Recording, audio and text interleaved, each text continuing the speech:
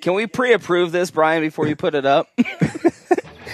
So anyway, I'm sure we'll cover a lot of things that'll probably irritate people, and some guys will agree with. Because anytime you talk about this, there's like these far opposing sides of the fence, and there's some middle of the road. So I just can't buy into the whole face paint thing. That's So so. like uh, special ops, you put it on, you just feel But then you gotta wash your face.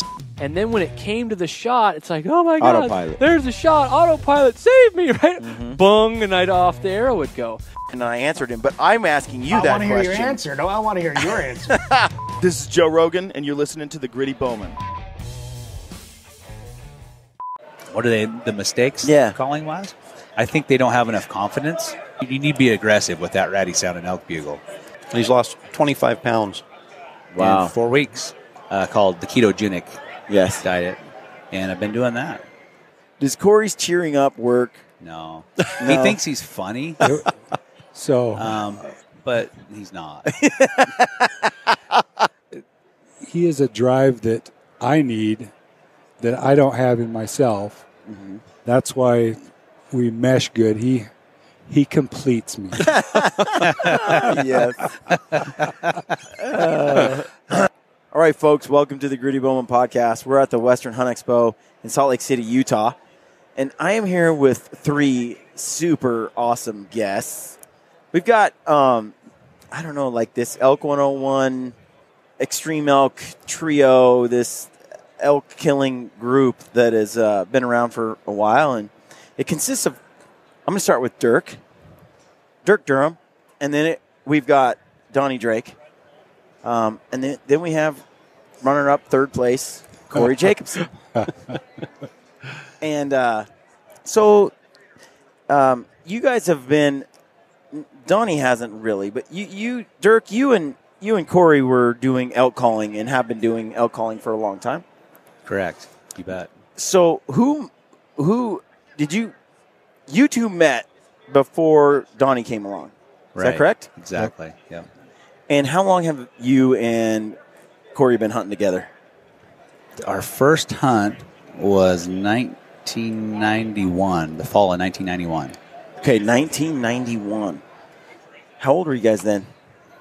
I was Roughly. a sophomore, so 14, 15. Yeah, sophomore in high school. Yeah. Yeah. High school. Okay. Wow. That was young. Yep. So someone had to drive you up to the mountains and No. drop you off? No, Dirk had a driver's license, so that's why I, I, I knew I could use him because he had a driver's license. I'm like, hey, he hunts. He has a driver's license. Nice. You'll This see a this pattern start to build through life. well, that's what we're going leading up to here. Actually, uh, hey, I. I, what I wanted to do was um, I want to take a moment for people to get to know you guys. Um, I would like Corey to describe Donnie for me. what is Donnie like? I wish that everyone strengths could, and weaknesses. I wish everyone could see the video. Yeah. That's Donnie. No, he's uh, Donnie's quiet. You're going to have to ask him direct questions to get him to talk. yeah, We do the same thing at elk camp. It's like day three or day four. It's like, hey, have you seen Donnie? yeah. I was he with us last night? I'm like, I don't remember seeing him coming back. You know, he just I remember the first time I was at the Northwest Mountain Challenge and I met Donnie, and uh, I just met you for the first time, and uh, you said I like the film, and we got to talking, we and we, we kind of we bonded with with your family, and and I was like, hey Donnie, let's get you on the podcast with Corey, and that was like, oh no, it is not happening, no way. Donnie stood there looking at the wall, blinking his eyes. He like and- ran, he Yeah. like ran away. Stood behind a post and heckled. That's right. Later, you and Ty Stubblefield teamed up to. You know, do crude and lewd gestures to get us to uh, be distracted. That wasn't me. No, Donnie is. Uh, so Donnie and I met at Micron. I've got a degree in mechanical engineering. I was working as an engineer. Donnie's a drafter, and uh, we ended up in the same group and uh, met there. And Donnie likes the outdoors. Grew up in Ely, Nevada, and uh, ended up. I think we went deer hunting or something first. And my hunting area. I mean, I'm protective of hunting partners, hunting areas. Uh, happened to be a year that uh, I don't think Dirk was coming down to hunt. Yeah. And we have a mutual friend from back east that came out, and my hunting area was on fire. And Donnie and I were just talking at work. I'm like, yeah, I don't know where I'm going to go. The area I normally hunts on Like fire, on fire, literally burned. literally forest fire, completely Not like the decimated. hottest elk hunting unit in the planet. It's, Yes, that is a good distinction to make because it's uh, It was burning down. off limits. Okay, it was off limits. so Donnie said, "Well, I've I've hunted up here for like 17 years, and I get into elk every day. I've never killed one, but you know, I get into elk, and there's you're welcome to go up there." And so I went up there. Donnie's been hunting there 17 years Mm-hmm. and never killed an elk. I went up there and killed an elk the first morning. What a show off, dude. Is No, this like. I, I, I don't say that at all to brag. yeah, yeah. That was a lead in that Donnie selflessly gave up this hunting area. He's been hunting forever. Yeah. And I felt obligated then to say, hey, I'll take you up next week and let's go up there and hunt. So he did. Uh, Donnie ended up killing his first elk with a bow the next weekend, and it, something just clicked. And I think, you know, it might go back to Dirk's comment about me being a user. Um, but Donnie was hungry to learn, and he was willing to do whatever it took to, to learn. And it, I mean, it wasn't like he wasn't experienced, but once he got that taste of success, he loved it, and he was a hunting partner. He just you know fit right into to the model. And then you Yeah. know Dirk and I had been hunting forever, but um, Donnie's just that guy that you show up, and while you are checking your text messages or uh, making sure your hat's on right or something, Donnie's out setting up the tent, Yeah. and you get done doing all the little nonsense things, and you go in there and your cot's set up, your pillows fluffed on the cot.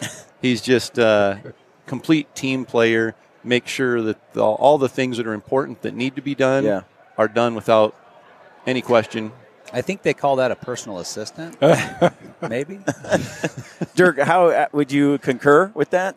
Yeah. Uh, description? Yeah, that's like perfect, spot on. Spot on description. Yeah. Um, Donnie's one of those guys that does what needs done before anybody can do Ask it. Ask him and then you or- try to help, and oh no, I got it. And then then you feel bad. Yeah. I yeah. think he loves that. Donnie is always we we always are indebted to Donnie. So it never changes. yeah, it's not like he could ever. Uh, It's funny. My dad is just like you described, like as, as Donnie. And Aaron was at my house last week, Snyder, and he's like, "Man, your dad, like, he just does everything for everybody, doesn't he?" Like, yeah, it's just you can't stop him, you know. And uh, you know, he's one of my favorite people in the world. So it's uh, it, it's uh, it's a good way to be a giver like that. Yep. Um, so, uh, so moving on, I, I'm curious, Donnie, how how would you describe uh, Corey? Corey. Yeah, So I'd say, first foremost, without Yes. anything to do with any hunting related, anything like that, yeah, he is a family man. He's uh, totally off hunting subjects, but yes, every year I'll text him and tell him that if I could be the dad that he is, that he's he's the world's greatest dad. yeah, It's everything. You know, we we're together, and his relationship with his wife, his kids. No matter what's going on, that's always going to be the most important thing. And being with him, that being something that I value as well. That when we're out, we're going to make it a point to be able to try and get to a spot where we have reception that we can call our wives to say hi, see Yeah. how things are going, and yep, call for motivation and get us uh, out of our own funk that we have sometimes to keep on going. But he is he is a drive that I need that I don't have in myself. That's why we mesh good. He he completes me. yes. oh, Donnie in the clothes. So he uh, he he pushes you. yes, Yeah. he does, and I and I need that need push. that. And it, So as a hunting partner, he's is he intense? he's These Driven? are baited questions, Brian. Come on. Just checking. it sounded like that's what he was describing. Kind of a fact finding mission. yeah, he's definitely intense. but uh, he's intense in a good way. He's in, Yeah. intense in a way that that I need to be intense, where I don't Yeah. have it. Uh, I- Dirk, I'm curious how you would describe Corey. Which personality? That's very interesting. Like, because we got Donnie's take, but uh, you, would you concur with that as well? Yeah, I, I agree 100% with what Don, Donnie said. Yeah. Yeah. Yeah. Anything you want to add? I was going to say that doesn't mean there's not more to add to it. Yeah. You know, it's easy to, you know, label, put Yeah. labels on people, Yeah. but I think, you know, an easy label for Corey would be control freak. yeah, Yeah. Which he's self self proclaimed control freak. So Yeah. it's it's true. Um, we're all we're not all perfect. Dude, I, and I don't I don't slide him for that at all. it's just So- like Anthony.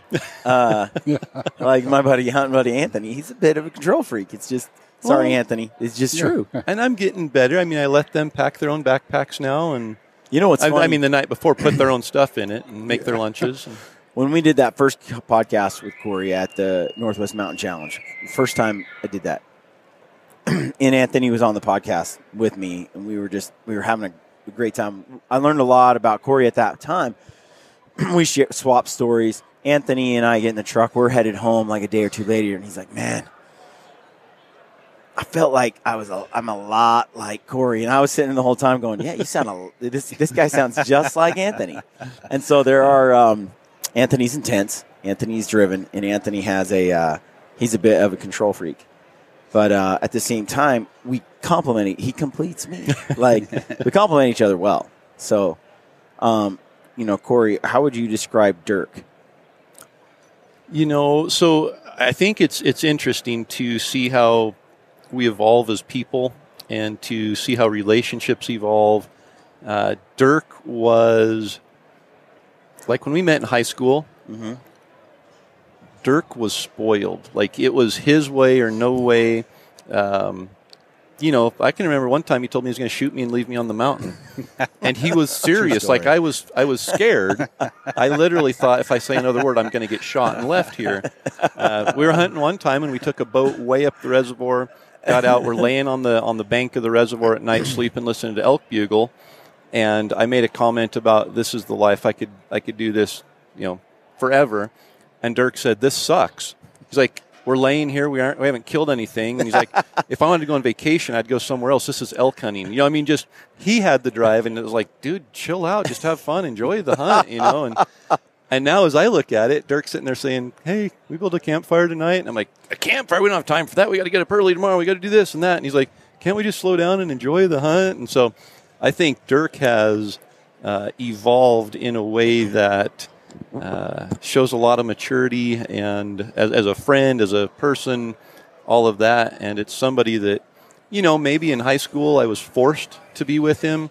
Now, uh, now I choose to be, and you know, it's it's uh, it's good. Yeah. it's good. But he's uh, he's he's a quiet, strong person, and I think I need that because I know that I can't just make all the calls on all the shots. And uh, he may not argue or voice his opinion, but I know when he has an opinion when it's different than mine, and uh, it it keeps me in check. Yeah, Donnie, would you agree with Corey's? Uh, Yeah, and there's another side of Dirk that we get to experience that most everybody else hasn't, but may have seen snippets of, as far as our drives and the conversations and the voices that he makes, and The music he listens to. when his inner Indian comes out, and wow, it's there's there's a lot there. We have a we have a good time, and it's funny that you were saying that I'm like your dad, yeah, but Dirk and I are always saying stuff like the campfire when we're a couple hundred yards trying to get back up to Corey. Well, we better catch up to Dad. Dad's not going to let us have a fire tonight, and just so everyone knows, I'm the youngest, so and he is. just the most bossy. Yeah. That's funny. I'm a little control freak myself, Yeah, but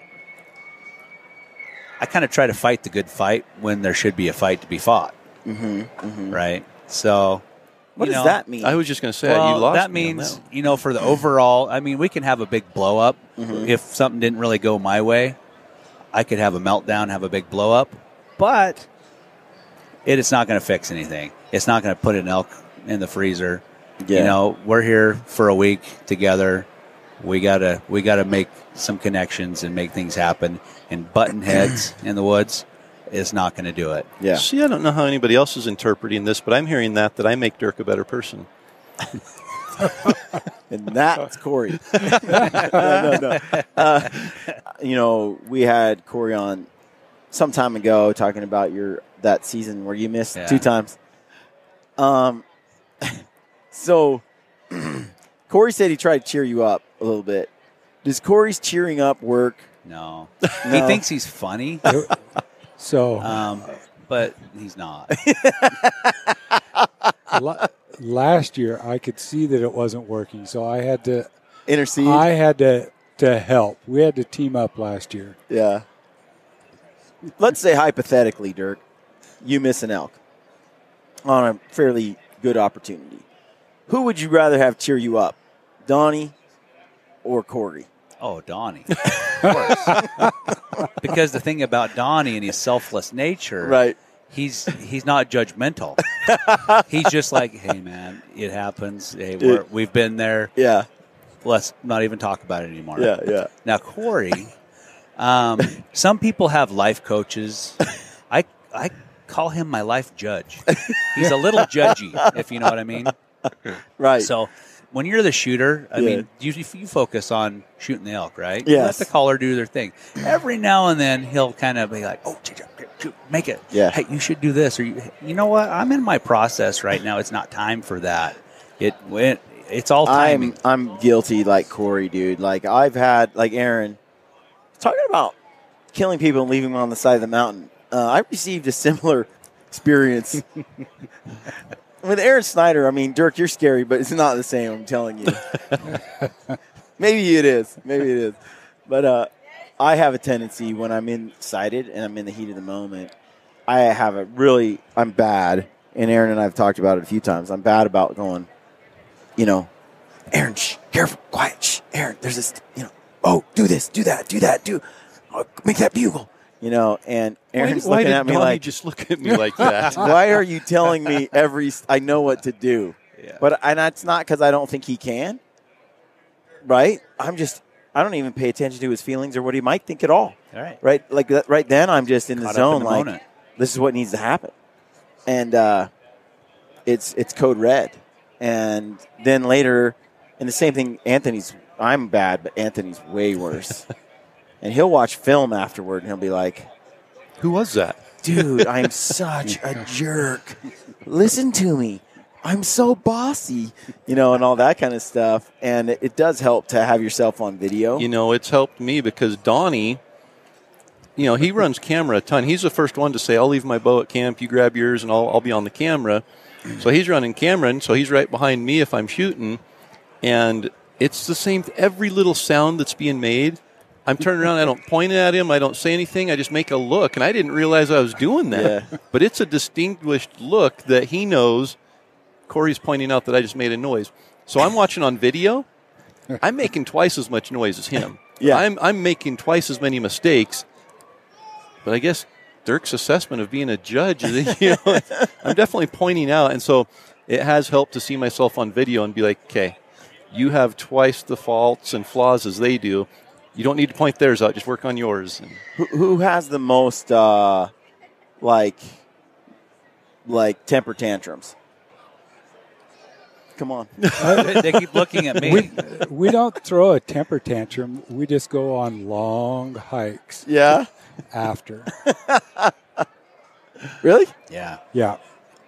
I can tell when Dirk is well. Maybe I'm maybe I'm wrong, but I feel like I can tell when Dirk is upset in a in a place where you can cheer him back up pretty easily, Yeah. and he's resilient to a little bit of fun poking. Yeah. And then there are other times where it's like, okay, the bear just he's right. He's a hibernating bear. Do not poke him. Don't touch him. Don't look at him. You know, keep your distance. And And so, you know, there are times I feel like I can get away with a little bit more and throw, Yeah. a, throw a couple pebbles at the bear, and other times I keep a tree between us. So, what would you say is Dirk's best quality? First thing that comes to mind is elk calling. Yeah, I mean, Dirk is, in my opinion, we've talked, I've told him for 20 years, in my opinion, he's the best elk caller in the world.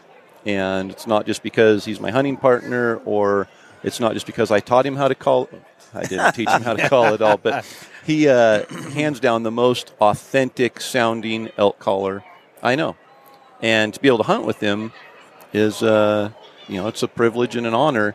Um, but besides that, I think just watching Dirk's growth, it used to be Dirk's way or the highway, you know, like high school, college, those times. Um, and I, you know, had a tremendous amount of respect and a great friendship and was able to kind of overlook some of those things at times. And I think back then, Dirk was, you know, probably more of the alpha. I was uh, kind of the quiet, shy guy that just followed along. And somewhere in there, I think we've kind of found our, we found where we fit and how our, how our uh, character complements each other. And just Dirk's growth as a person, um, overcoming that, uh, my way or the highway mentality, and his wife might argue that he still has it, but um, Dirk's a team player. You know, now it's now it's just a glare, and I'll shoot you with a slingshot if you don't do it my Yeah, way. yeah. But no, I think uh, that's So that's what seen you've seen a change Oh. over the years, and major change. Yeah. Yeah, transformation. I- That, that I- makes it where I want to be around Dirk. I think it's because you can out hike me now. yeah, I don't hear all the things he says bad about me. Exactly. right, Like, Ignorance is bliss. yes, yeah. But this fall, it ain't gonna happen. dude, you're looking trim, Dirk. yeah, thank you. Tell me, how did you, you know, lose weight and get fitter? So there's this diet or way of eating, Yes, if you will, uh, called the ketogenic yes. diet, and I've been doing that. So no carbs and uh, just eating right. And he's lost 25 pounds. Wow. in four weeks. Four weeks. Yep, I did. Uh, I, I mean, I do a lot of a paleo kind of style of eating, which gives me, you know, I, I try to keep the the carbs to a minimum, you know. And if I really, if I want to drop some weight or get a little leaner, I'll go to 50 carbs a day, 50, 50 grams of carbohydrate a day or less, down to even 25 or 10. Um, and uh, but I found I just don't like sweet food anymore. Oh yeah. You know, it's been a few years. So I like strawberries or whatever, some naturally sweet stuff, but I'm not big on like super sugary foods. And uh, I can't eat them. I don't enjoy them anymore. Yeah. So people like dessert. They're like, hey, want to get dessert at this restaurant? And I'm like, no, like none of it's, it's all too sweet. I, but if it's like something fatty and meaty, I'm all about it. Yeah. But ketogenic is uh, like super effective. You feel good? Yeah. Too? Feel great. Yeah. Yeah. Eating carbs, man. I just my my stomach wasn't right. I didn't Yeah. feel good. Feel bloated? And, yeah, I just felt heartburn and bloated, Yeah. and uh, haven't had heartburn. Even I mean, yeah, I can eat jalapenos and all all Yeah. all the spicy stuff, and good. Good. I'm great. Yeah. No heartburn. How did you get turned on to the keto diet? Listen to your show. Sweet. Which, uh, and then you just kind of started doing some research, or Yeah, yeah. Yeah. You know, you, you start watching things and hearing things and people's different stories, yeah, and uh, you you start following them on uh, social media. Uh, for instance, like uh, Christopher Clonch, you know, Yep. that guy's always posting some delicious food. It's like it is. that's not diet food, I know. but you hear his story, and it's like I can do that. That's the thing. When I started eating like primal or paleo, I was like, I'm not giving up anything. You're telling me I can have eggs and bacon and avocado, and you know for breakfast and a bowl of blueberries, I- and I'm and I'm and I'm not cheating, you know. And then I can have this for lunch and this for dinner, and I'm satiated and I feel good, and I'm still I'm I don't so I don't really ever I don't really manage I don't do anything to actively manage my weight. I just try to eat paleo primal, and then I just exercise. You know, uh, uh, probably you know for three three days a week, maybe. Yeah. And and uh, and I just kind of and if I pig out, pig out, and then other days I don't feel like pigging out. I don't pig out. Like I, I really have. It's like my body's working how it's supposed to. It says, hey, you need to eat more, or you, you don't need any food right now. And I just do. I just I'm not hungry, so I don't eat, or I'm super hungry, so I eat two breakfasts like today. But I ran a 5K, a Right. Cameron Hanes 5K, and so it makes you. I think, I think it's just really how our bodies were really evolved to to eat. So Yeah, and I feel better in my mind too. You know, I I can be kind of a grouch. Yeah. and uh, I don't feel so grouchy. I think you Yeah. know the sugar and the carbs is that's grouch food right there. I think it you go up and down in terms of how you feel. Yeah. Like I used to work at a desk, and I and I used to eat like your typical kind of American diet. So we would go out for lunch in the afternoon, and we'd eat our, you know, big sandwich and a cookie, and uh, you know our chips and our soda, whatever. And then I'd come back, and then I'd head bob for the next hour and a oh, half yeah. as my body's digesting all this sugar, and I have this insulin response and all that kind of stuff oh yeah, and I feel like crap, and I wouldn't get a lot done for like an hour or hour and a half after lunch, and then it would start to go away. But then as soon as it went away, I was hungry again. yeah. As soon as I wasn't tired and groggy, I was I was actually I craved something sweet, so go get a scone or something. You know, I come back, and then it, the process starts over. It's this vicious cycle, and it's funny. I weighed at 210 pounds, and I was lifting weights a lot, and I was like, I just filled out. I mean, I just grew into my manly body. That's what happened. You know, that bigger waist was filling out. It wasn't wasn't that I was fat. It was all the that- dad bod. yeah, the dad bod. It was just part of being more manly. Reality, I was fat, and uh, Brian Call at two ten is not. I have some pictures. I should dig them out. Aaron Aaron has shared his, but two ten. I mean, I wasn't like obese. Well, I don't know. I was big. I was chubby, and uh, and then when I went on the uh, paleo thing, I kind of did the keto thing. I was like five grams of carbs or less a day. And in six weeks, seven weeks, I went from 210 to 170 Wow. and uh, less than two months. And I don't think you can get that kind of drastic weight loss any other way. And I kept my strength up. So I still lifted weights because that was a big concern. And I couldn't believe how strong I stayed because I was getting all the protein I needed. Right. How strong I stayed while losing. And so I, I'm pretty much, I lost fat. I didn't lose muscle in that weight loss. which makes no sense when you look at the ketogenic diet, which is 70 to 80 percent fat. Yep. You know, you're eating eggs and bacon and avocados and Butter. and butter and you know everything. You have butter. to Butter's awesome. you have to find fat to put on your food to keep those percentages up. And you know, for me, I'm doing the same thing right now. I've gained 10 pounds. Yeah. I seriously have. I mean, I you probably could lo- you could stand to gain 10 pounds i honestly think keto and and uh, you know paleo and all that kind of stuff i honestly think it puts you at a norm the weight you should be. Yeah. if you eat that way it sort of puts you where you ought to be. So if you're too skinny it'll make you healthy. So you put on more weight. If you're too fat it makes you skinnier so you put on it's just like that Finds diet that finds your your ideal health Yeah. you know? Um that was a nice squirrel. Uh, nice tangent there, boys. In all these years that you've hunted, was there a moment where you're like, "Yeah, I want to, I want to hunt with Donnie and Dirk, and I, I want this to be something that's long term"? Was there a pivotal moment where, in your hunting, you know, where you you were like, "These guys are guys I want," or is it for you like an annual reassessment?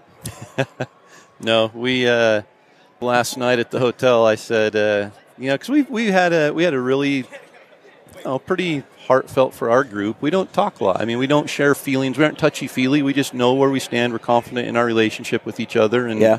and uh, I think we probably absorb some of our frustrations sometimes rather than voice them. And they aren't, you know, they don't fester. It's nothing like that. We don't have those kind. But I think on the way down, we're just able to uh, openly express some of the things that maybe uh, could rub us the wrong way at Yeah.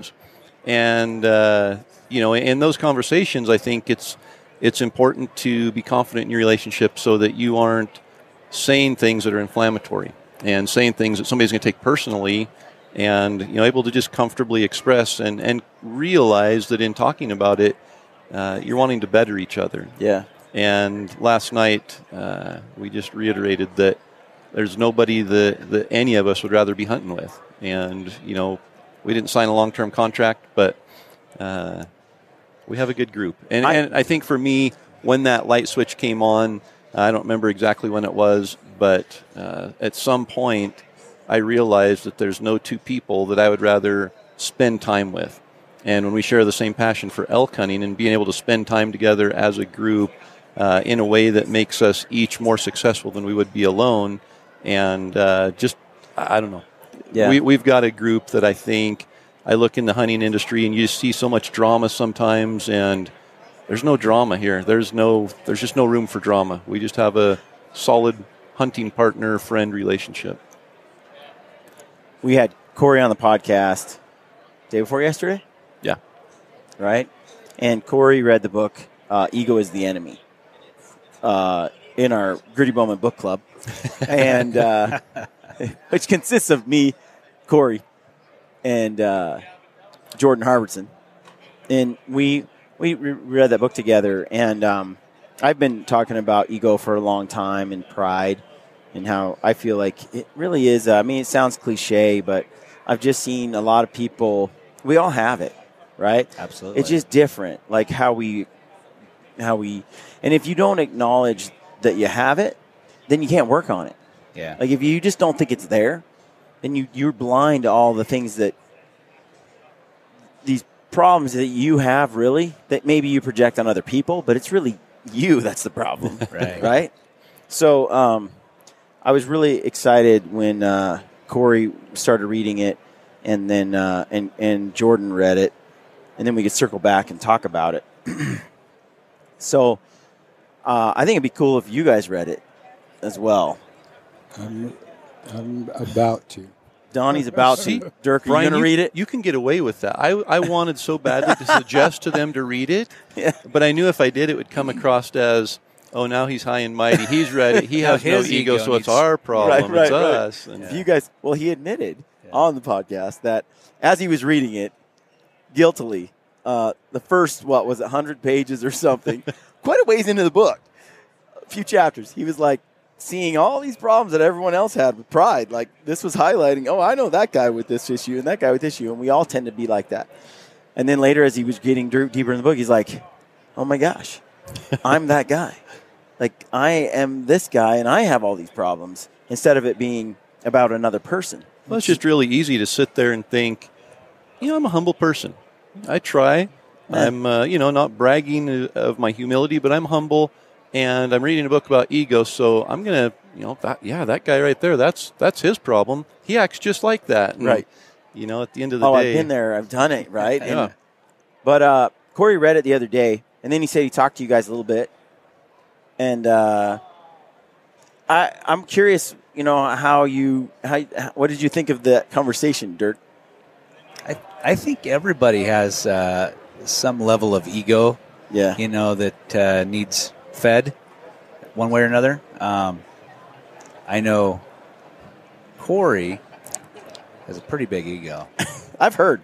But but what the beauty beauty about Corey's ego is he acknowledges maybe some of his ego deficiencies that, that need Yeah, work, yeah. and he he actively works at that Yeah. at it, where some of us don't. And I think I think the,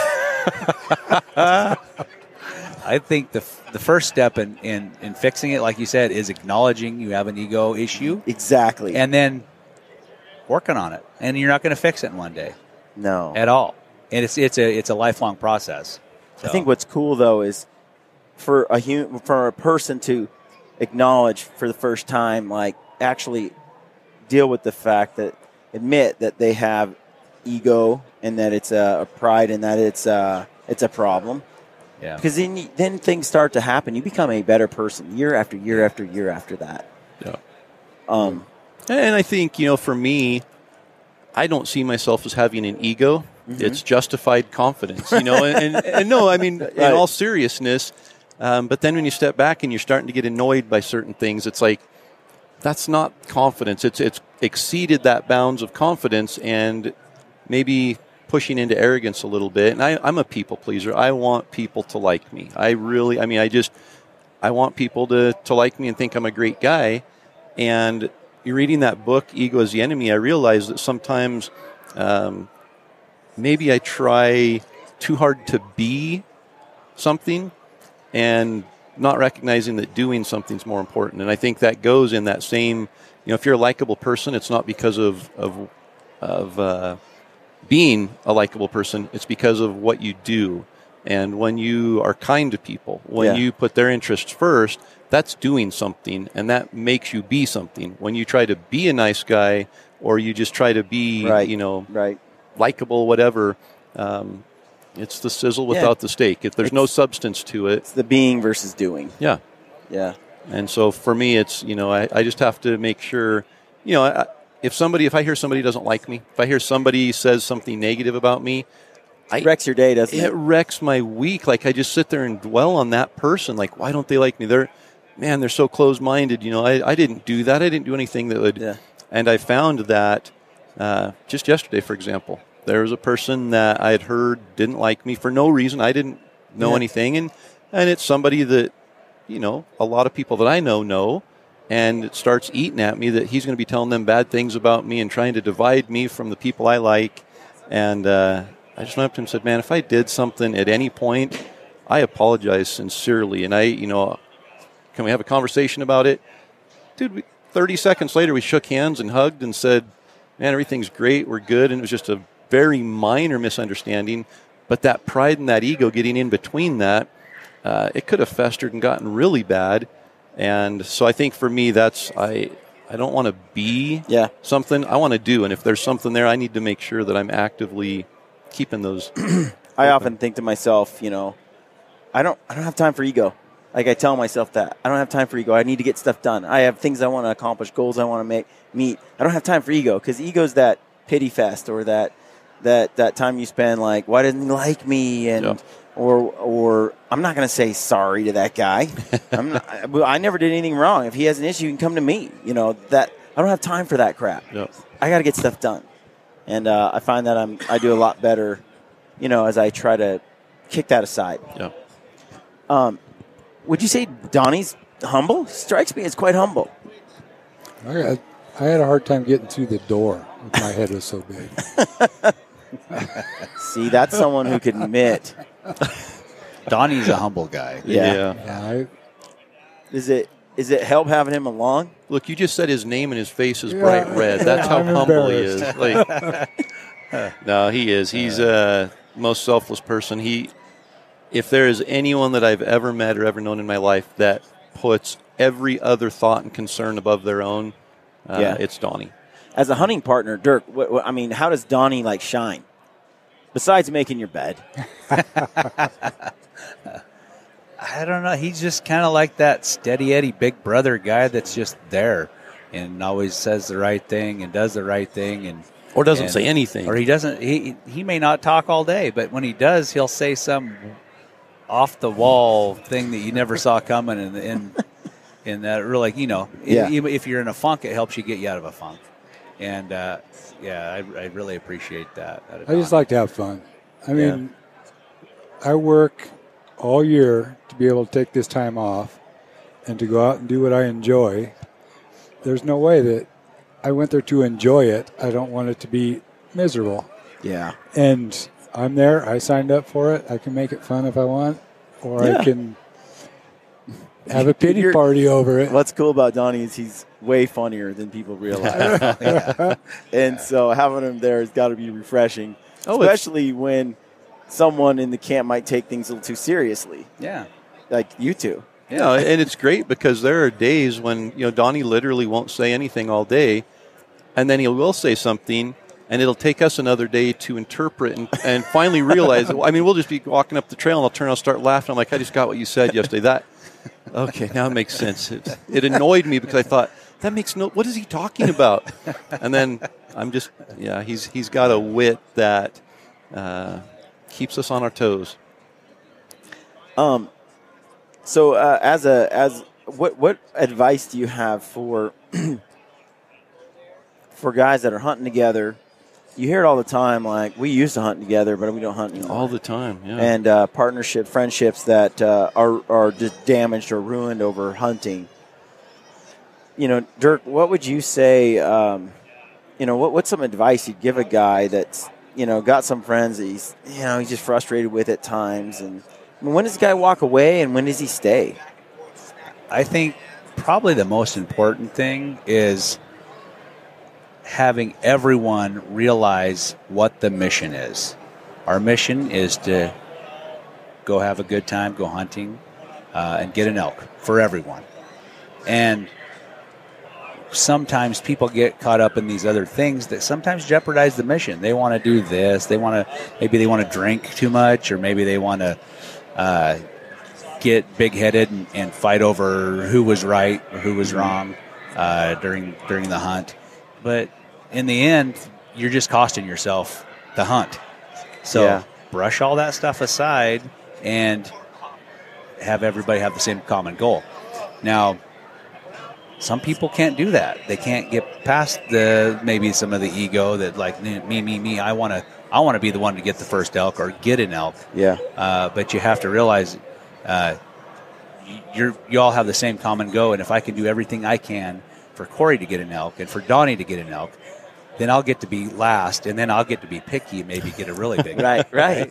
So no, Makes keep- sense, though. I've been saying that, but but really, I'm I'm just joking about that. But but really, that that the common goal is everybody has to has it, have it. And if you have somebody in your group or party that doesn't want to do that and not Yeah. have that somebody bucking the system of maybe they shouldn't come back hunting next time. yeah, And I hear stories, you know, of people that say, "Yeah, my hunting partner, you know, I called an elk in for him, and he shot it, and he left the next morning. I was there hunting by myself for four days.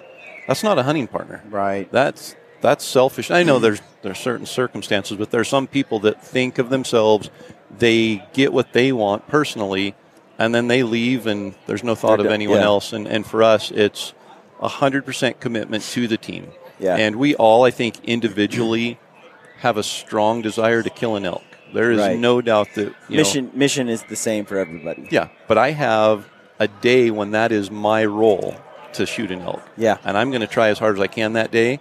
When it's my day as a caller, my mission is to call an elk in for whoever's a shooter, and I'm going to try as hard as I can for them to be successful. And I think, you know, the book Ego is the Enemy, there's a comment that purpose, uh, if there's a purpose, common purpose, it gets rid of the I.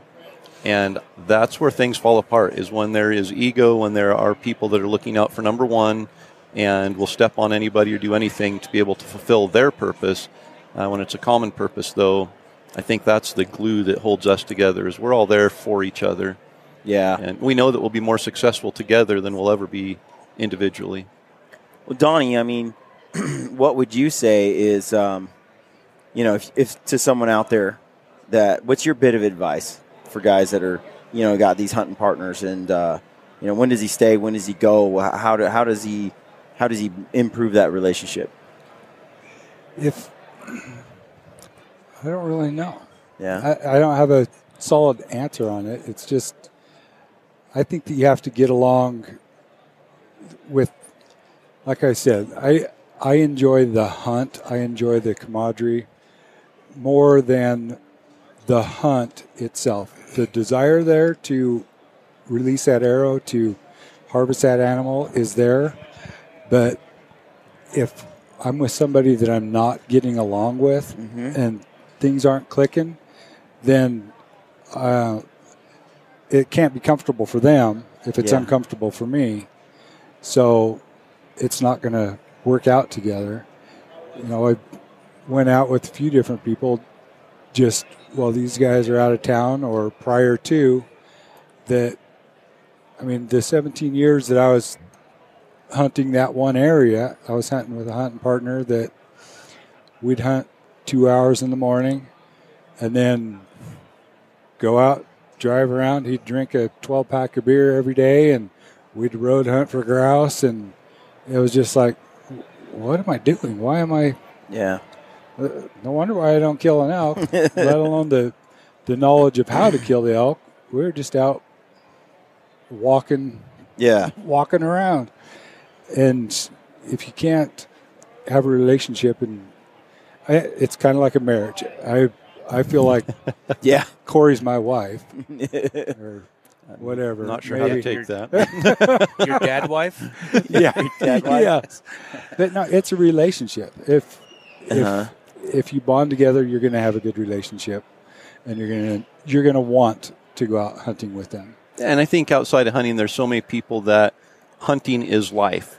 And that's all they know. That's all they talk about. That's all their relationships are built on. And for us, you know, our families are families with each other. And I mean, I knew Dirk, you know, I think I was one of the first people he told when, when he and his wife were pregnant, what, 21 years ago or whatever. Uh, just, it, it's our families, our family and we hang out outside of hunting seasons. We hang out at bow shoots. We hang out camping. We just, you know, we're, we're friends, and we have a friendship there. And hunting is uh, is our time to spend together and strengthen that friendship. Dirk, you look like you're like a young 39, 40, 42. 42. I got a lot of gray. I do too. I, I do too. Um, so you've been hunting a while, like since 14, 15, 16? Yeah, first year elk Hunting hunting with a bow, 15 years old. Yeah. Okay. And uh, how many elk do you think you've you've uh, harvested? I couldn't even put a number on it. I, I wouldn't put a number on it. Just a guess, like more than five? Yeah, More than 25? no comment.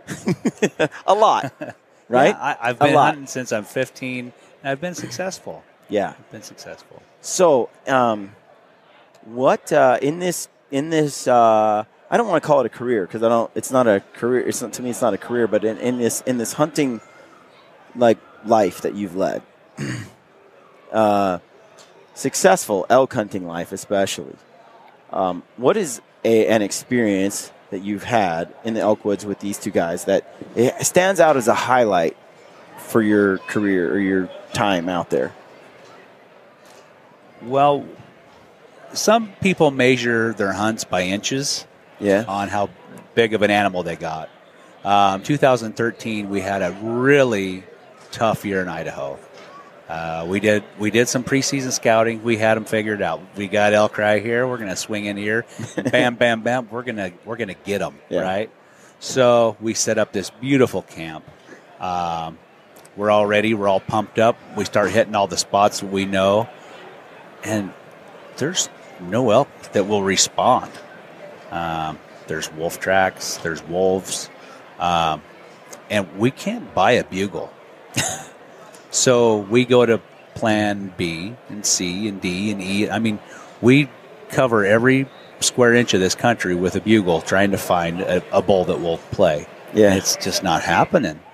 So we're running out of time and I said, "We gotta, we gotta move." So we all agreed, let's go somewhere else. So we got in the truck, drove through our our camping little single man tents and all of our stuff in the back of the truck, and drove 50 miles to the other side of the unit, and started looking for bulls again. And uh, we find this bull that'll scream. Great, camp on him. Next morning, hike way in there, get him going. Corey, turns out it's a beautiful monster six point Idaho bull. You know, to us, I mean, it's a, it's a monster bull, and, and Corey was lucky enough to take that bull. Um, and then it was my turn to shoot, and we only had a day or two left to hunt, and uh, so we packed that sucker out, and, and uh, we're like, all right, we got to get back on this. We're gonna hunt some more, and we thought we found it jackpot, but no, we can't hardly buy a bugle in that spot. It's like we caught, we got the only The only bull that was that would bugle, Yeah. right? So finally, uh, second to the last day of season, late afternoon, we're hiking and hiking. And if you're with, if you've hunted with Corey, it's you.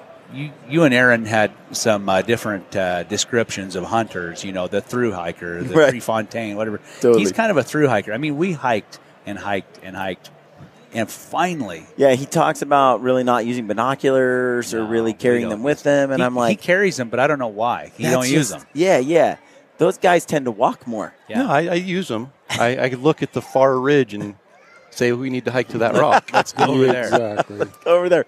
Uh-huh. So we we we The grass this- is greener guy. Yeah, that too. That's him? I'm kind of that's kind of me. I give up on a spot pretty quick. But anyway, we hear this bull finally bugle way off in Uh-huh. the distance. Well, we got to hump it over there. So we hike and hike, get over there, and he's bugling. He's not real worked up, but we're in a pretty good vantage point to call him to. So Corey's working his magic, and Donnie and I set up. Donnie's filming, and we set up down the ridge from Corey, and we see these two spikes come walking. They're not bugling; they're these two fuzzy horn spikes, brothers, walking down the this little meadow. And I'm like, I think they're coming here. And uh, that other bull, he's still up the basin a ways, and and he ain't coming. And, and uh, I'm like, if that spike gets close enough, I'm gonna whack that sucker. So he finally comes up, and we watch him for a little bit, and he's eating. You could you can see in the elk's face what he's the things he likes to eat and the ones he don't like to. He's kind of he'll casually browse, but then he kind of you can see it in his eyes. He kind of lights up, and he'll grab Oh, some of yummy. this and like grab that. And I kind of felt bad for even uh, wanting to shoot this thing because he was so cute, Little boy. little fuzzy horn spike. and I'm thinking, I'm going to shoot that sucker. so finally, the the moment was right. I had made a perfect shot. He was really close, and he ran a little ways and, and died. And uh, we went over there and tracked him down. We're like, all right. Just then, it starts raining. A big storm front had come come rolling in. Starts raining, and uh, Corey's like, "Well, you want the good news or the bad news?" I said, "Well, I'm always give me the bad news first. He's like, "We're like we're like four and a half, five and a half miles from the truck uh, through rugged, rocky, nasty country." I'm like, "Oh man, well, what's the good news?" I'm thinking, "But we got a knife." Or I mean, it was going to be something lame, you know. And he's like, "But if we walk down this old abandoned." Uh, road over here, it'll go back this way. It's only a mile and a half back to the main road. I'm like, great. So we worked up this bowl. We didn't even have uh, pack frames or anything, but uh, we uh, stuffed our, our day packs plumb full of meat, and we threw shoulders over, front shoulders over our shoulder, and hiked out in this torrential rain and got back. But that that was a great hunt to me. Really? It, it was it's the smallest bull I've ever shot, and but it was probably one of the, the best times we've ever had, and it was pretty miserable rain and, and, and stuff, but it was good. And then the next day was Donnie's day to shoot, and it, it was like flood rains. Roads were washing out, and we said, Donnie, let's go, and he's like, Yeah, let's just not do it. So that was the end of the season. So Why is it that when it sucks, it's good? I, I, think know. it's the that challenge, and it was that was the hardest season I think we've ever had. We had a hunt in Wyoming the same year. The same year. Yeah, a, a week later. Yeah, Rough The- year for you guys. All three of us did not shoot an elk in Wyoming that year, and losers. yeah, after the Idaho hunt. But I think you know, looking back, those struggles were so deep and so real that you know you look at it and say, "Oh, we only shot a spike." That spike was there was more work that went into the successful harvesting of that spike than probably any other elk that we've ever hunted. Yeah. And if you if you get tied up and, and concerned about inches and score and everything, which we're not, we're not trophy hunters. We don't proclaim to be. Um, we just we like to hunt, have fun, and call in elk, and not being stuck on scores. When you have a hunt like that and that spike hits the ground, it's a celebration. Yeah. And we've we've overcome obstacles and achieved something. Dirk, what would you say is one of those things where uh, that that hunters like what what are tell me something that they do wrong when they when they're elk hunting? You know that Yeah. that that is a common cause of their failure. They give up. They give up too soon. Uh, my brother, he he he hunts hard for a while, but then I think he gets homesick, you know, and, and maybe he, and he'll he'll go home, and I'll stick it through, and and then at the last, you know, maybe I'll be successful, maybe I won't, but I can't live with myself the rest of the year thinking Yeah. I gave up. Why did you do it? You could have went out one more hour. Yeah. And maybe you would have got one. So it's a long time from September to September. You know, It you only have so many in your life. So I try to make the most of it. yeah. What about calling wise? What are they? The mistakes? Yeah. Calling wise, I think they don't have enough confidence in their calls. They they think that they should maybe sound like someone else or or uh, sound perfect, but uh, you can run a pretty ratty sounding elk bugle Yeah. and uh, not be, you know, you, you need to be aggressive with that ratty sound and elk bugle. People It's more are- about uh, emotion than it is sound. yeah, and and people being like maybe too timid, thinking, ah, I don't want to blow this, I don't want to screw it up. yeah. I'll just kind of hang back a little bit. No, put it all on the line every time. You know, um, make that. I have an elk bugle. This is going to be the last one I'm going to hear this year. This may be the only shot I get this year. I'm Yeah. going to be aggressive. I'm going to move on them and get up there. And if I blow it, well, I might have blown it by playing it safe. So they play. Some people play it too safe and don't don't believe in their calls and believe in themselves. Yeah, Aaron, this year uh, he hadn't hunted with me before. it was early season, and the elk were pretty quiet, and you know, Aaron hasn't used calling a lot. He calls, but he not I, not I would say compared to what I'm used to. And we went out there, and I was just, man, I just go for it, full tilt. I make. I sound like a herd of elk. I sound like a hot cow. I sound like five bulls fighting over. I mean, I'm just like "Bruh, I'm breaking branches, and it's just like it's. Aaron said it was like in a dirty elk film. You know, it just sounded like, you know, like just a lot of action happening over here. Yeah. And he's like, the first time he heard it, he was like, "Yeah, I don't, I don't know if that's gonna work." But but he doesn't. He's like, he doesn't tell people how to hunt or how to shoot. You know, if you want stuff out of Aaron, you got to like pull it out of him because he, he's not just gonna tell you what he thinks. so he just sat there and he's like, what, whatever. Well, we call it an elk every morning and every evening, and he that's not. They typically spot, stalk a little bit, cow call a little bit. You know, try to. They're opportunistic, Right. and I'm like, dude, let's go full Monty, call, call, call, call, call, and just bring them in with just this wild stuff. Yeah. And the elk just come on in. and I've said for a long time, when I, I've seen elk in a meadow, right, 200 yards off, and and I start cow calling and bugling, and I sound like kind of a, a normal cow and bull and stuff. I don't even see them lift up their head. Yeah. They just eat right on through. But I start sounding like a cow that is, just, I sound unnatural. Let's just call it unnatural. and all of a sudden they're like, wow, I got to get over there. This is, this is another level Yeah. of, you know, I've got to go help that distressed elk. that's right. then so, and it seems that that seems to be, we're, and then same with getting close and then bugling like you mean it, like you really want to attack or that you're so angry. And I think I heard from Corey, I think it was, uh, that most of the, you know, we we tend to think that elk isn't sure if I'm a human or a bull. He's back there thinking that might be a human. I don't know.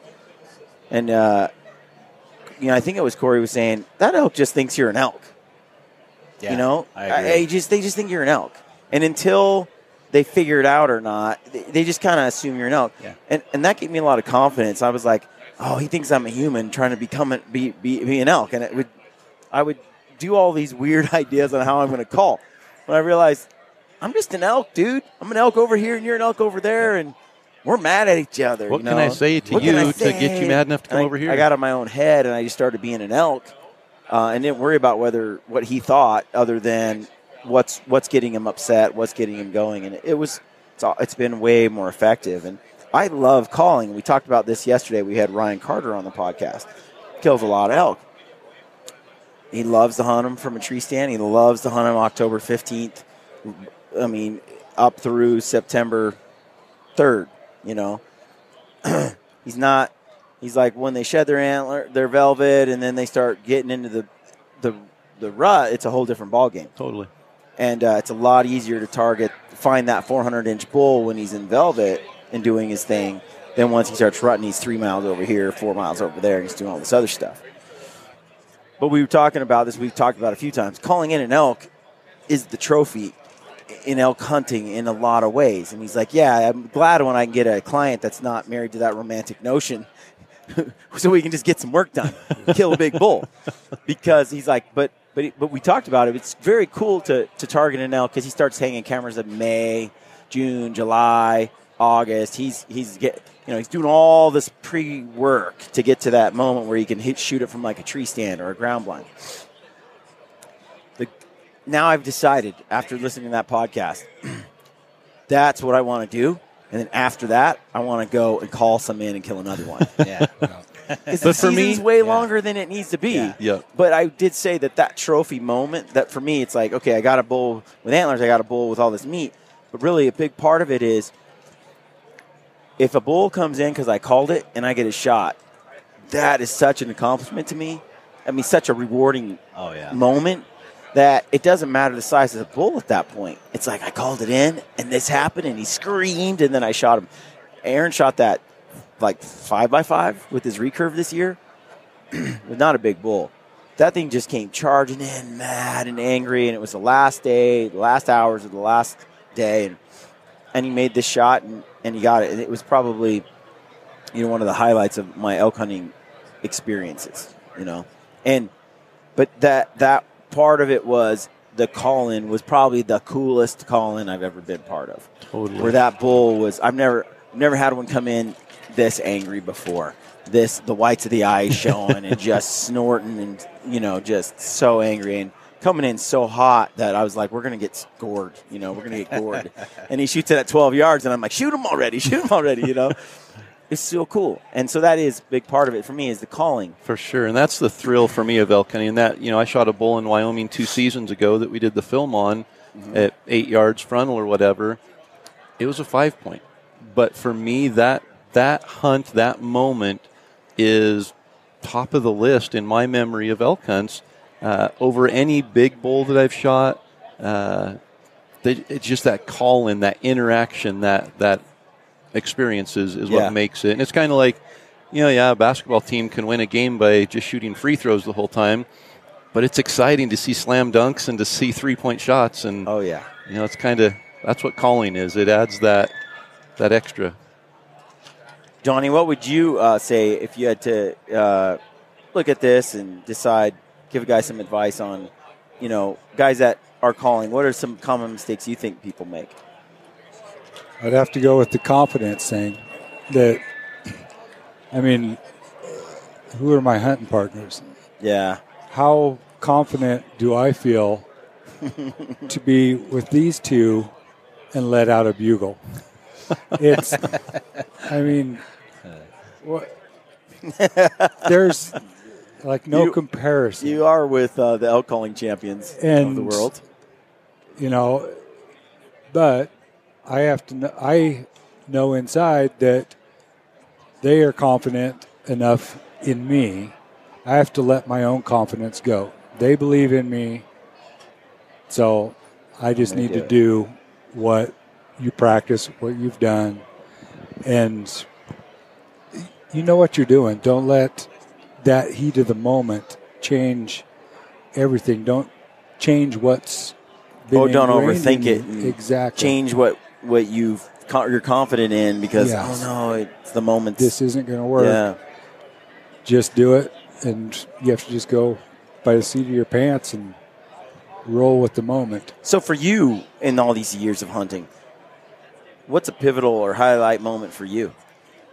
I have a highlight that is uh, these guys weren't even with me it's It's probably why it's a highlight.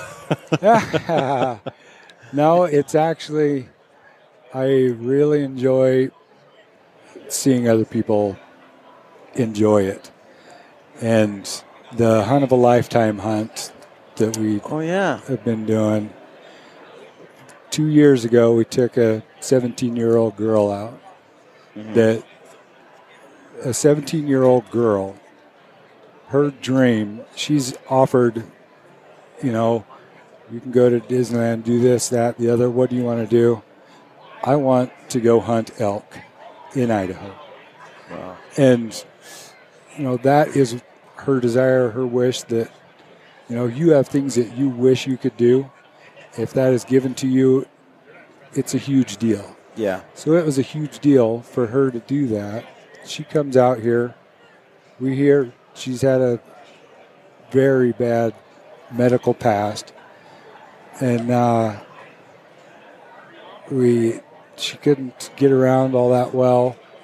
She wasn't confident in her shot because she didn't know what her limitations were Yeah. and everything. But her shooting that ball at 70 yards and just immediately after she comes over and she's standing in front of me, and her hands are just, Yeah. I did it. And her, what was only a dream before, just like that, Changed. now it's a reality. Reality. And that was, you know, I've, I've been on standing over quite a few dead animals, Yeah. and standing over that one was the highlight th- that I have had. Yeah, that's super cool, Donnie. So, Dirk, uh, when guys are out there hunting, um, how do you? I mean, ideal situation. How, where would you like to find? What kind of situation do you like to, to come up on or, or get into with an elk? And how do you like to get, get it done? I like to hear one that's going to bugle with a bit of atti- a bit of an attitude. Okay. You know, um, if you hear one that's kind of, Here I am. hey, dude, hey there, those guys, you, you think, well, I'm going to go try to call him in if that's Right. the only thing I got. Yeah. But if I got one over here that's steaming and he's just like mad and got an attitude, that's that's ideal. That's- That's, ideal, you know. And then, you know, I, I prefer a, a real, uh, maybe a, a steep side hill with not a lot of broken terrain in it. You know what I mean? A nice smooth No blowdowns, no, fallen logs. no, no. I'm talking about like to- topography. you know, uh, it seems like in areas that are a little bit flatter and you got a lot more rolling hills and dips and Oh, yeah, yeah. and and, and uh, draws and stuff. Your wind just gets messed up. Okay. So on a big, tall, steep ridge is awesome on the s- on the side of On the that- side of a hill. Yeah, because That's steep. Yeah, because you're going to get you don't have any uh, terrain features that are going to really break up the wind that much. Mm-hmm. So you're, you you can kind of think out the uh, the the thermals. You know, they're either going to be going up or down depending on the time of day, And it's consistent. and it's, it'll be consistent. It won't kind of like swap at the last minute. It can, but it's going to be a little more consistent. So. Uh, find that sucker and you know let's say let's let's say this thing's a herd bull it's like he sounds like a big mean nasty herd bull but he's a long ways away Yeah. that's okay i don't need to run over there right now and shoot him Yeah. or if he is close and he just keeps moving on moving on you know Yeah. i think a lot of folks think that they're Chance they're is going to be gone. yeah, and I think oh, all he would do is bugle and run. He has he's got cows. He don't want to fight. Well, you know those cows already kind of figured out what they're doing for the day. They're they're going to bed, and they already know where they're going. Especially if he's got 20 or 30, Yeah. you can't just turn them all around. yeah, and he'll bugle at you, but he's like, hey, we're going to the party over here. Come on over. Come on over. So See what you got. You know, you know, to play the long game. You can't just give up and say, Okay. oh, well, he don't want to play. No, figure out where he's going to go bed, and then um, get your wind right. And at the right time, once they get all tucked into bed, that's when you want to make your move.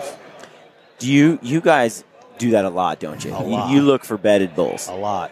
And it- again, it could be just the nature of the country we hunt. You know, elk densities aren't great. Yeah. So it may be the middle of the day before we even find one that'll Yeah. that'll bugle, and then it's like, okay, well, ha ha, you're in your bed. Well, you, they're probably not going to go anywhere till we get till we In catch up position. to them. And the Yeah. wind's not going to change anymore. Yeah, yeah, the wind wind will be good, and it seems like that middle of the day, those elk are ready to. The, the bull is ready to do something. He's been there, kind of anxious, rubbing Yeah, what I what I've noticed is, uh, especially in units where there's some big bulls, is seems like you're right. They they as soon as the sun's coming up, they're like, okay, we need to move. They move with their nose into wind. They get to where they're going to bed. They lay down, and it seems like they crash. Like it's just a bolt of lightning to to get Everything this goes bull to silent. wake up. Yeah, it's Yeah. like hard to get them to do anything. yeah. But it seems after four hours or so, that bull is now rested and horny. Yeah. And all his cows are still sleeping, and it's like he just gets up and beats the crap out of bushes and trees while he's waiting for them to like be ready to go again. And it seems like at that moment, yeah, he seems he's restless. You know, he's had the sleep he needed, and now he wakes up refreshed, and he's like ready to roll. Yeah, And and, you're the right cows there in his aren't. bedroom. Yeah. you get really close to their bedding area. You know, some people they they stay out of the bedroom because they don't want to spook them out of the country. In some areas, I get it. Yes, You know, I- they you may not be on the hunt again for a long time before you find some more elk, but we're lucky enough the areas we hunt that that it's if we spook them, you know, we hike two or three more miles, we're probably going to find another elk. So How do you like to call them in in that situation? I just, Just like scream at them? No, I like to kind of give them a couple little quiet cow calls, like, "Oh, hey, I'm a cow over here. I got out of the herd." Bull, he's going to want to do a corrective bugle and be like, he'll bugle and say, "Hey, I'm over here. Get back." And when he bugles, that's when you have to challenge him with a mean, ugly, nasty challenge bugle of your own, and you don't worry about sounding wimpy. Yeah. You want to sound mean and like I'm. I want to kill you. yeah. That's what you want to tell that elk. I want. To, I'm going to kill you and take all your women, yeah.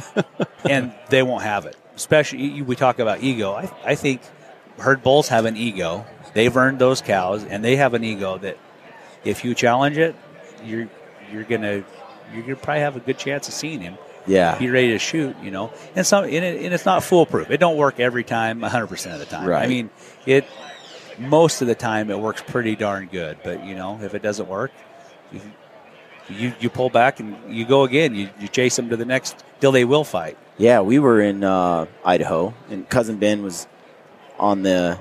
He was the shooter, and he hadn't shot an elk in five or six years because he'd been living in Virginia, so he hadn't hunted elk. So this first year, he's carrying a bow in a long time. I called in so many elk for that fool, and he couldn't shoot one um, till the last day. He's not So- listening. Yeah, he can't hear He can't hear this, which is fine because then he'd interject with some kind of excuse, which is weak. But uh, but no, we were we were working this one bull, and and uh, I had uh, Corey on. He described a similar situation, exact circumstances, and we we've kind of drove driven around in the truck or hiked and kind of bugle in the middle of the afternoon, just looking for a bull to respond. And it seems like they shock bugle like like a turkey shock gobbles. It's like, Yeah. oh, I'm over. here. Oh crap, you know, and it's like they go quiet, um, and then they won't bugle again. But we know where they are now. It's like he's right there in that that stand, and so we try to get the wind right, and we've we've gone in there and got close, and then bugled to them.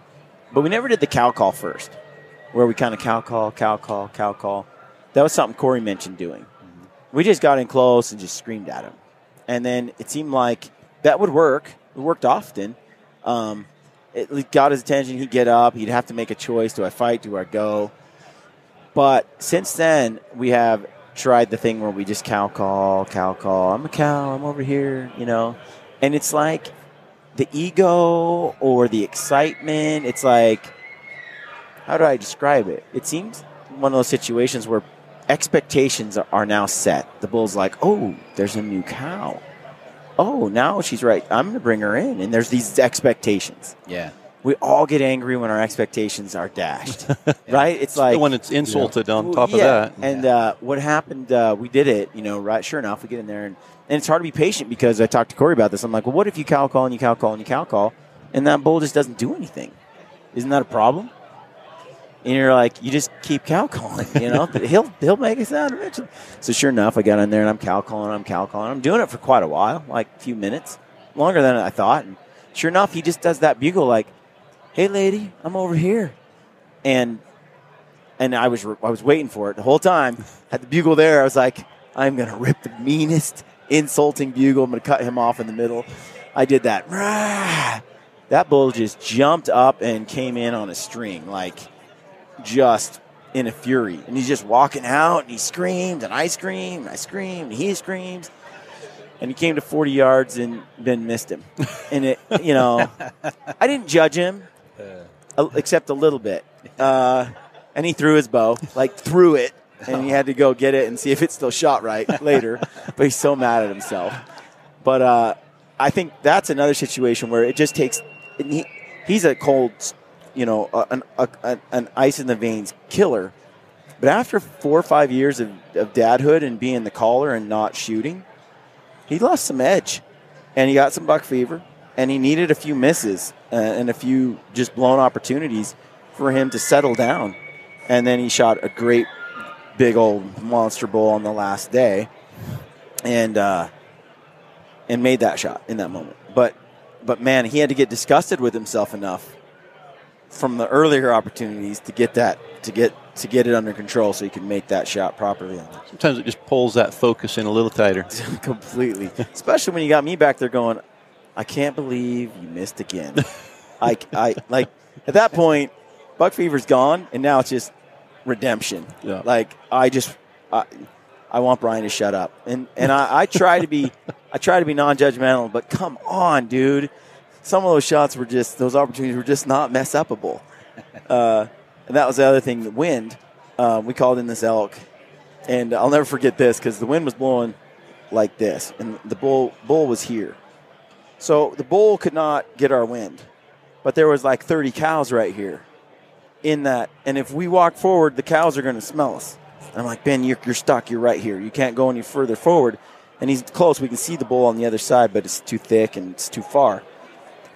And he's like, yeah, yeah. Um, and he's in the moment, dude. And you can't like reason with him. And he's like, forget the wind. I'll never forget it.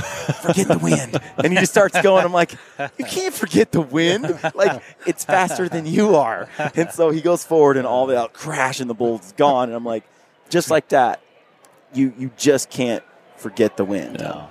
Uh, it doesn't work that way. No. And so that that was one of those things where, but the whole thing though, with calling a little bit and then Bugle. I loved it. It worked great, and I tried to do it with Aaron. But early season it was tougher because they weren't really herded up, and um, it was a little more difficult to to pull that tactic out. But we did it later on the uh, later in the season because it took Aaron a very long time to successfully shoot one, even though we called in a lot. but he was using a recurve. So when are you going to use a recurve, Dirk? Well, my partners say you cannot start trying to use a recurve. That or is a not trad true. bow because we got some good tags that we might draw one of these days, and we need you on point with Yeah. that. There's a- but I, I'm thinking you- you- I, I want to do it because I've had a I've had a longbow, a self bow for quite a while, and I want to I want to put that thing to work in North Idaho. You Yeah. know, it's a brushy place. You get really really close encounter. You can't miss. That's what I was Especially if you- telling Oh, well, hold on. Aaron. Did you say proved you can't miss? Aaron You proved miss. Aaron proved that you can uh, in North Idaho. Oh, But I was just saying that yesterday that when you're in North Idaho, the one thing about North Idaho is the shots are really 10 to 20 yards. They're they're Yeah. quite close. What I didn't like about North Idaho was the wolves. Like the wolf pressure changed the elk behavior. It was a lot harder to to get vocalizations going. it is. Um, but the other part about North Idaho that was tough, or that I didn't like, was when it's that dense and you're trying to get shots off in those thick, in that thick country. A recurve is almost better, like done, like Yeah. fast. Where, and and you kind of, it's like it's happenstance hunting, a little bit because they're not talking that much, and it's thick. It's not like you're glassing them far away, like in Oh, yeah. Colorado, and you're like, we're going to go over there and we're going to come down this draw and then we're going to pop up and we'll be right there. It's not like that. So you see these elk and they're running around and or you, you, you can't hear them, you can't find them, so you're just walking and then it's like, oh, there's a bull 10 yards away. He spots you at the same time, and if you're quick, you get that recurve back. I don't know, it's tough with a compound, but but so northern Idaho I think is very suited for for the recurve. Yeah. But after being there, I wonder why would anybody want to hunt there? It gets in your blood, man. Does it? It gets in your blood. There's uh, yeah, there's some Big bulls. there's some great opportunities. yes. They come along very few and far between. It's like over the counter. but uh, it I, I I, I you we, know, we've had this same conversation on the way down here. And Corey's like, "Yeah, you just need to, you know, give up on that country up there." I'm like, "Okay, you tell me where we can find massive bulls like that that there are up there. There's not a lot, there's some, but with that kind of mass, and when you find one that will fight, wants to fight, he wants to. He's mad. He's they can be pretty aggressive, Yep. but where there's no brush and there's he's like well we can do this this or this i'm like well all right good luck good luck getting a tag Yeah. Yeah. No, for real. We uh, we realize uh, Aaron does that quote from Chuck Adams. I think it's from Chuck Adams. We could totally be blowing this up, and someone will tell me. Someone will let me know. But uh, Yeah, sure. he said something about climb a two, three story building, and while you're climbing the stairs, have someone whip you with a stick the whole time in your face, you know, branches, and then dump water on you, like spray you with a hose the whole way up, and that's like hunting North Idaho. absolutely And uh, but I will say um, this that Aaron and I were into bulls, and uh, we should have shot a beautiful big six x six that I screwed up on, um, and uh, that just kills me. Right, and we would tag down on the second day. I mean, from here to that Yeti, there was a bull, and I I, I messed it up, and um, and uh, so and Aaron was not judgmental. I, I he was not at all. Didn't even like bat an eye. Okay, let's go find another one. If Aaron did that, I don't know if I don't look at him wrong.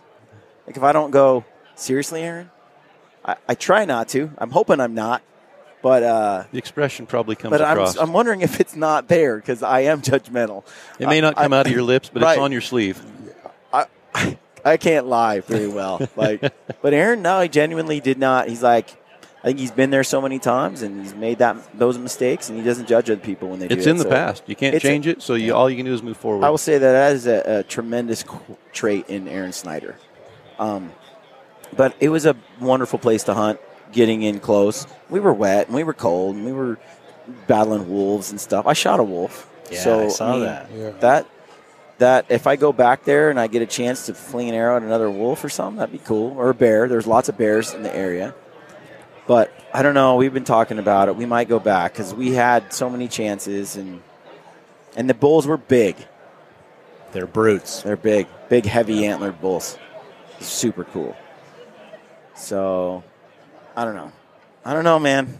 But I do like the open, dry country. Yeah, yeah. I try to talk myself out of it every year, but We hunted that one unit that's like the surface of the moon, but straight down and straight up. uh, and I and I, Aaron's like, talk, Anthony talked to this guy. He's like, "Why do you go back and hunt that spot year after year after year?" And he's like, "Because it's a suck fest." Yep. And uh, he's like, "Because there's just awesome bulls there. The opportunity. There's awesome bulls. There's also rattlesnakes everywhere, but You're just saying that now, so I won't go there. keep Corey out of there. That's just a reminder of how much I love that area, and I won't go because of the rattlesnakes. there were a lot of snakes, dude. I've never seen that many snakes. You're snakes." lying. I talked to Anthony. You didn't see any. No, no, no, that's not true. We didn't see any rattlesnakes. Yeah, bull But we saw bull snakes and rat snakes, Yeah. and they're giant. The big snakes. I saw snakes And the every day. rubber I just didn't see. Yep. You And- see rubber boas? Yeah, I just didn't see. uncomfortable. Just didn't see a rattlesnake.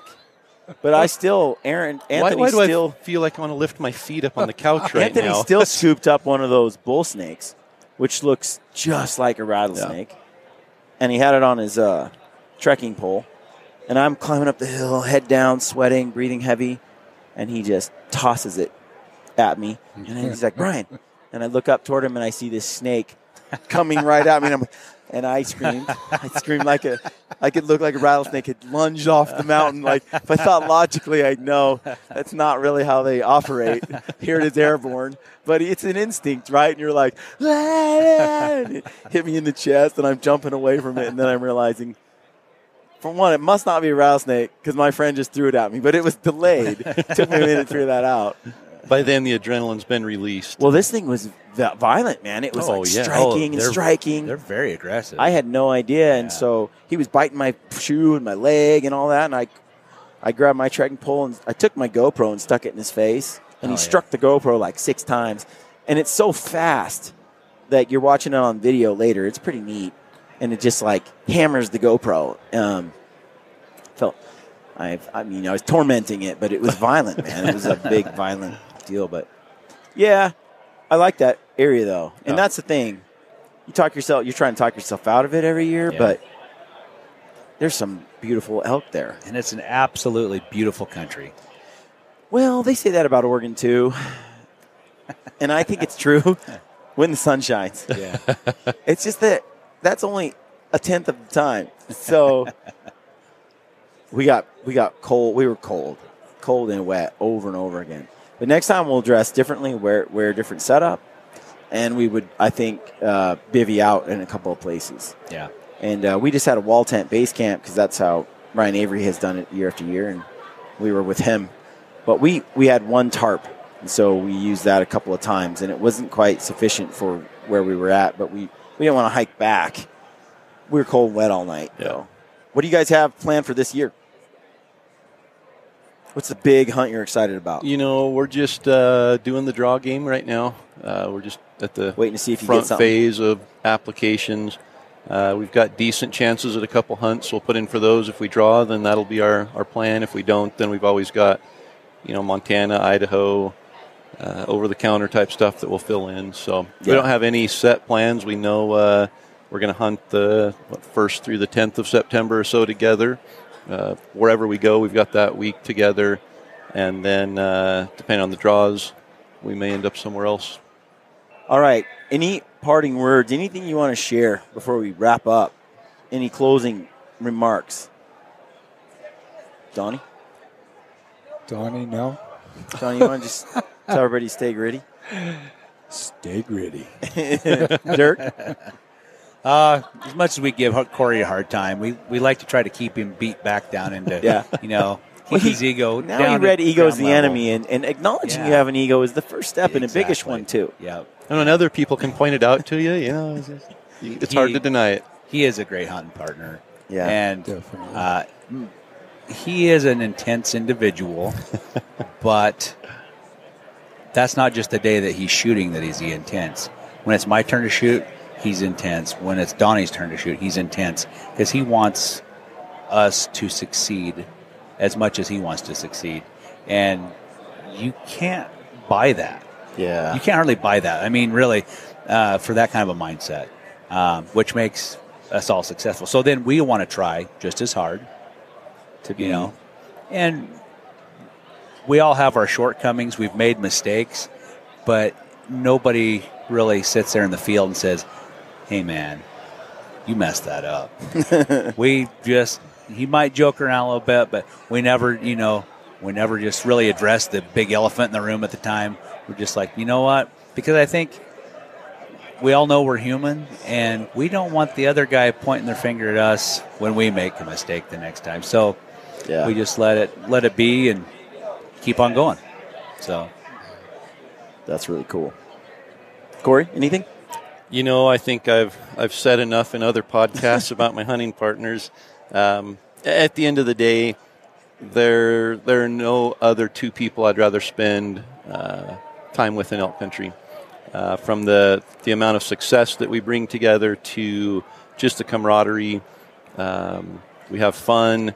We're intense. We uh, we're we're planning next year's hunt before that hunt's even over just because we look forward to it that much. And when you find hunting partners like that, uh, successful or not, you're successful. Filling a tag or not, harvesting an elk or not, you're successful. Yeah. And at the end of the day, that's what we all want to be.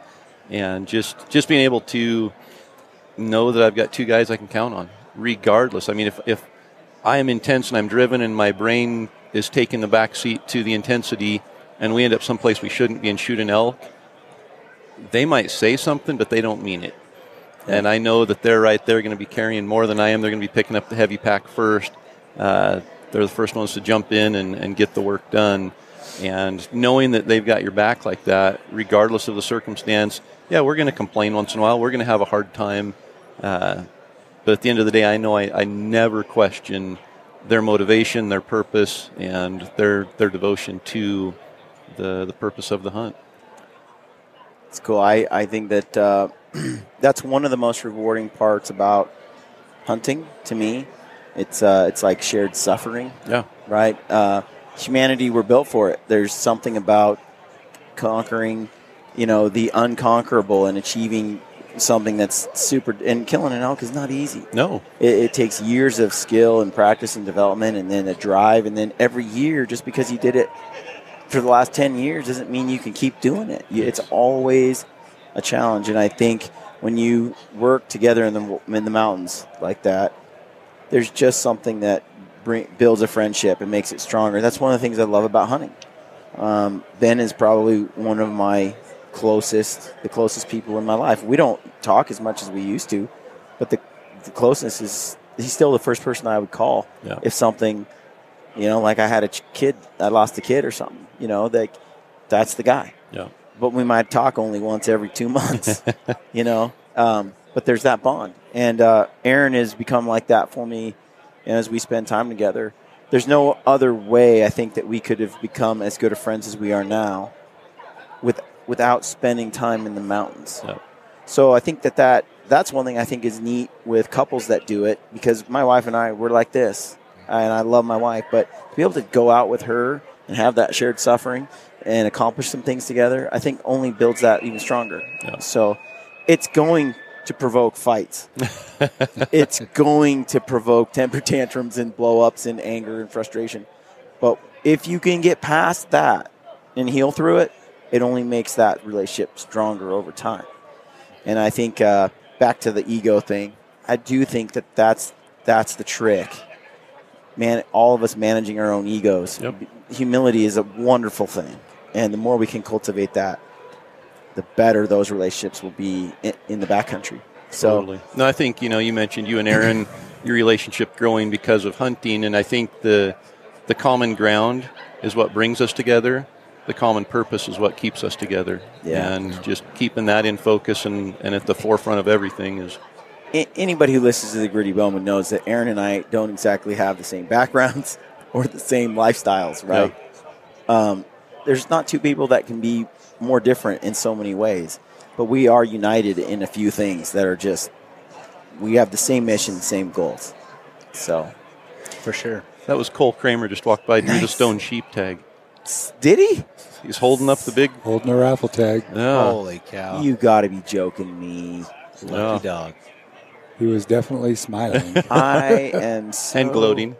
You got to be kidding. Yeah. He probably bought one raffle tag. Probably. One. There's Somebody probably, some probably- dude who bought 400. Somebody 400. bought him for him. Yeah. That's the way to do it. Yep. All right.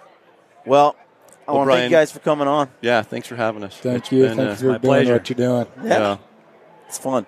yes, it is. Stay gritty, guys. Stay gritty. Get ready. This is Dirk Durham, And this is Donnie Drake. and you're listening to The Gritty Bowmen. Yeah. Yes. Thanks, guys. The future of public lands. All of us own them, all of us use them. Political activists are demanding us to hand over the public lands where the state's legislators could transfer and control these lands. U.S. citizens own 640 million acres of public lands, which creates 6.1 million jobs and generates $646 billion per year. States have been selling off land to pay bills for over 100 years, thus closing access to the public. 39% of original 64 million acres have been sold. The cost of land management would break most state budgets. For instance, who will pay the hundreds of millions of dollars to fight major wildfires each year? It doesn't matter how many promises are made. The financial reality is it will force states to have to sell off our public land. President Theodore Roosevelt said, We must preserve our lands for future generations, not merely to the people now alive, but to the unborn people. Our duty to the whole bids us restrain an unprincipled present day minority from wasting the heritage of these unborn generations. If I if I had something else, I didn't write it down. Dude, as organized as you are, I know. it's on there. I know. No, I purposely wanted to leave plenty of room so your friends could get redemption. I'm gonna I'm gonna guzzle this.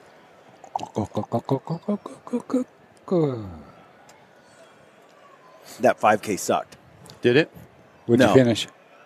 80th Holy cow. out of 500. Oh, wow. So top 20 is not working. Top 20, dude. Those people ran in like 17 minutes. 17 minutes. 18, 19, 20. There's no way I'm doing that. Where did Cam finish? Uh, Cam Cam doesn't finish these. You did? He runs around and says hi and encourages everybody, which is the coolest job. Not that it's a struggle for him anyway. right? Yeah. He told me yesterday, I was like, man, I'm not, I need to get home, get some rest because after today's workout, you know, because we did that one yesterday. I mean, now I got to go do the whole, after the 5K, I got to do the 5K now. I need some rest. And Cam's like, a 5K? for what? Re- for what? Rest for what? Like that 5K? And he's like, that 5K is like a warm up. There's no, I won't even get started. I do that before I start running. Right. Like, I'm like, huh? I guess if you run 200 miles, then uh, three miles is sort of petty. Yeah. Yep. But What's the purpose of running three miles? um, I think it taps into some kind of cardio thing. Oh, really? Cardio? Yeah, huh? I heard. I've heard. Weird. But I actually prefer the 5K and the gym routine to the mountain backpack hike with the backpack on. yeah. I could imagine. There's that. something about trying to keep up with Aron Snyder. It just sucks the soul out of you. How'd you do, man? You what? You didn't have a backpack. How much weight? An empty backpack.